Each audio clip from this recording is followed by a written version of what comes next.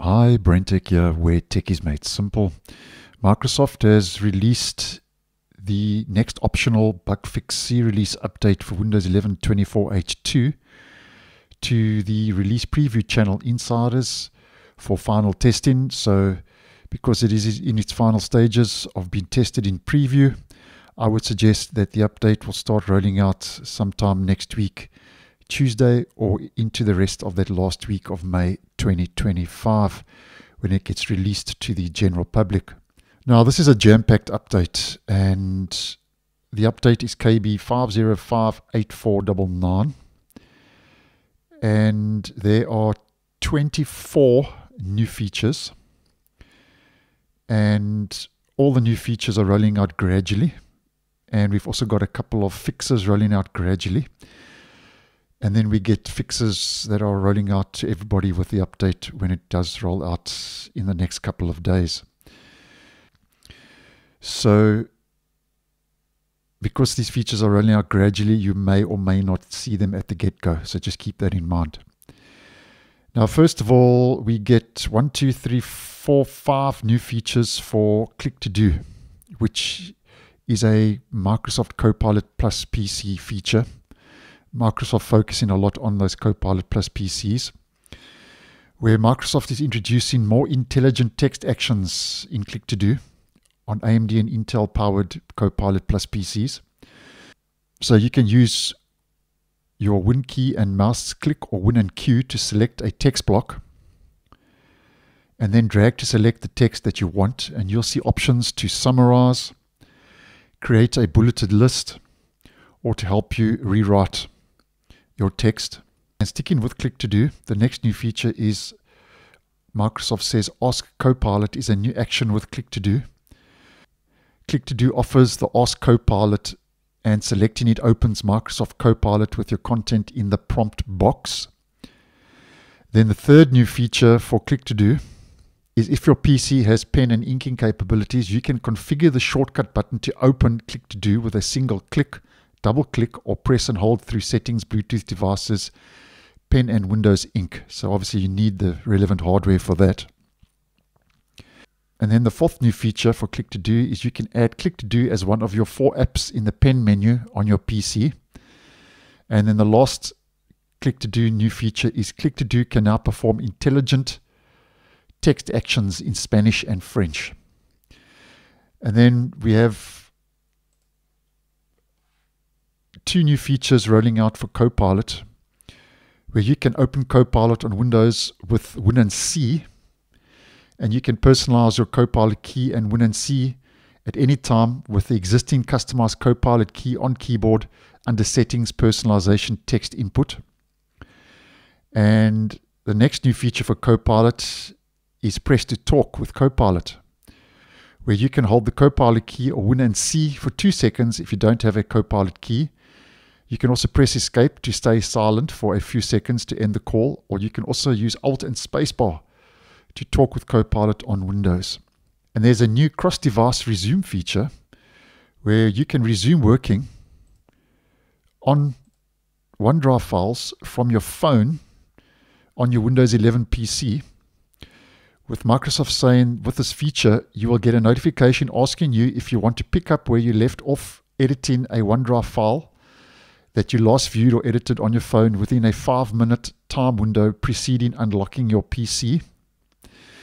And there's a new energy saver feature for IT admins who can now manage energy saver settings on Windows 11 PCs through group policies and MDM configurations using Microsoft Intune. And there's a new graphics feature, which, if you have the relevant hardware, which is HDR support for display, with the new feature being a clearer label for use HDR that better explains which media types are supported, and the ability to stream HDR video even when HDR is turned off. On PCs with Dolby Vision, a new toggle lets you turn Dolby Vision on or off independently of HDR. And I've posted a couple of videos regarding these features we're talking about today when they were still very much in preview. So um, if you do want some more information, just do a search accordingly on the channel if you'd like some more info. And then for narrator, which is an accessibility feature. There's a new feature where Microsoft says you can enhance digital accessibility with AI powered image descriptions in Narrator on Copilot Plus PC. So, once again, another Copilot Plus PC feature. And then there is improved Windows search. Once again, the first new feature for Windows search is for Copilot Plus PCs, where Microsoft is beginning to roll out the ability to type a setting you're looking for in the Windows search box on your taskbar without needing to remember the exact setting name. And then if you find yourself in the EEA, you can now find cloud photos using improved Windows search on the taskbar, also for Copilot Plus PCs.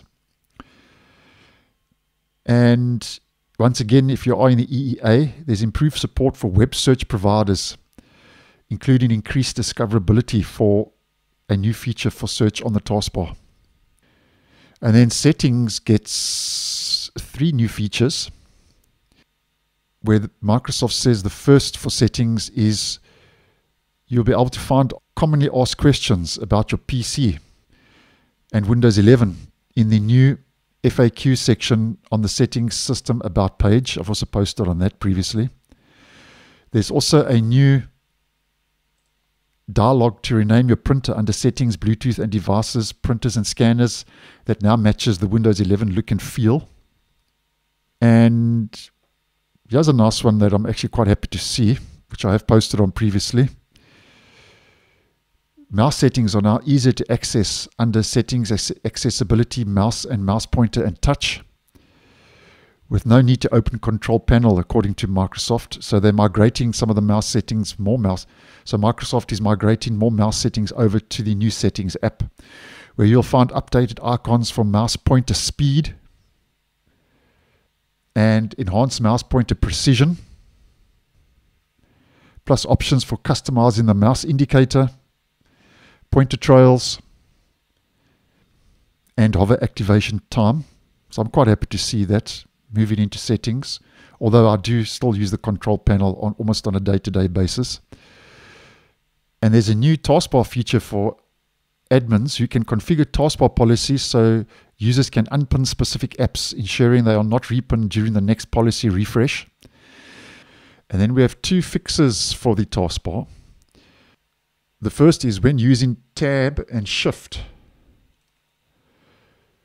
to move keyboard focus around the taskbar, if you go backwards at least once, you can get keyboard focus stuck on the taskbar frame. The second is keyboard focus may be unexpectedly set to widgets in the taskbar on login, which can make widgets invoke.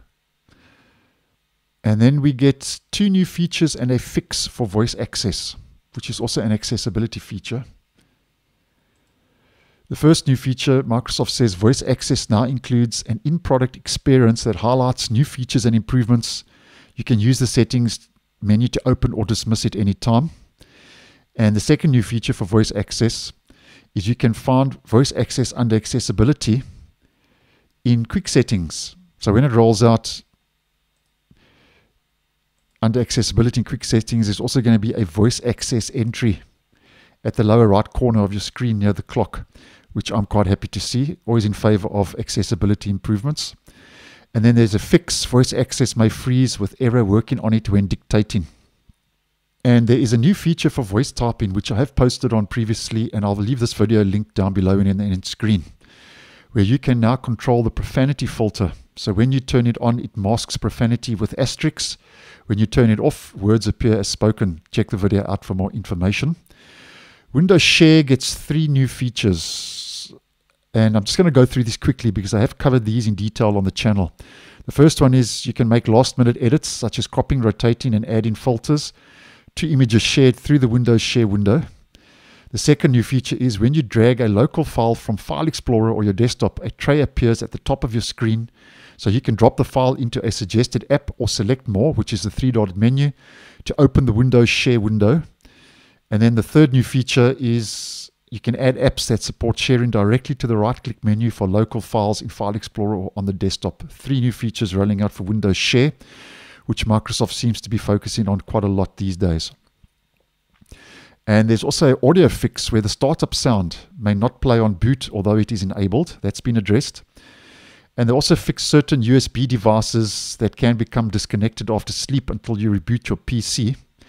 And they've got a couple of under the hood um, fixes which um, are taking place under the hood. I'm not going to mention that because then it's just going to make this video far too long. And then for display, there's a fix where unexpected scaling and window position changes may occur after sleep resume for some devices. There's a printer fix. Non-admin users can't uninstall printers they, that they have added. That's been addressed. There's a Windows Hello fix. When using Windows Hello for business facial recognition, the camera may unexpectedly fail after waking the PC from sleep, blocking logging using this method. There's a camera fix where the settings may crash when interacting with content under settings, Bluetooth, and devices cameras. There's a file explorer fix where if you have disconnected network drives, when doing a search from home, it may prevent searches from executing and you remain on home. So, guys, those are all the new features 24 new features in total, and a bunch of fixes that are all rolling out gradually with this next update. So, you may or may not get them when the update rolls out if you do decide to install the update because it is optional. And then, just to mention three fixes rolling out normally, there are a lot more, but just to keep this video not from getting too lengthy.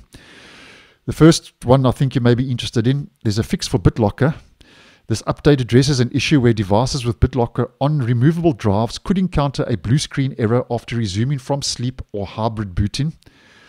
There's a fix for boot menu screens where the update addresses the issue where early boot screens such as BitLocker PIN, BitLocker recovery key, and boot menu screens render slowly. And there's a graphics kernel fix where they fixed an issue where some game titles become unresponsive after upgrading to Windows 11 version 22H2. So those are rolling out normally. There are a couple of extras taking place under the hood. So, guys, that's more or less what to expect with our next optional C release update, KB5058499, that will be rolling out for Windows 11 24H2 over the next coming days. So, thanks for watching, and I'll see you in the next one.